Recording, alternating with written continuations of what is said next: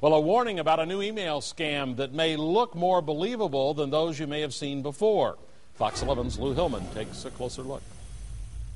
Right. If you know Tom Duffy, don't worry, he's not broke or stranded in London. Though a message sent from his email account this morning says otherwise. The best they tell me is that someone guessed my password.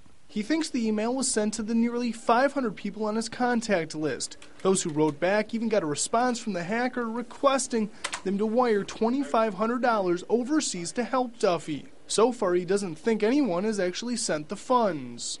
I hope not, because they're going to want it back from me. Now, if you have an email account, you've likely received a phishing email at some point, but those usually come from an unknown sender.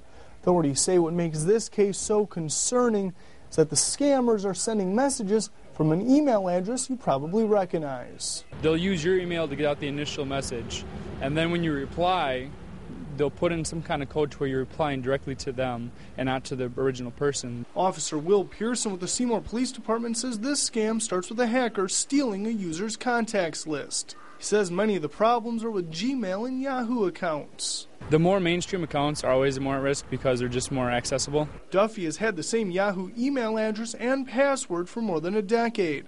The internet company is now working with him to get a new account. The lady asked me, um, she said, uh, When's the last time you changed your password? And I said, About 14 years ago. Authorities say a better idea is to change it every month or two. In Seymour, Lou Hillman, Fox 11 News.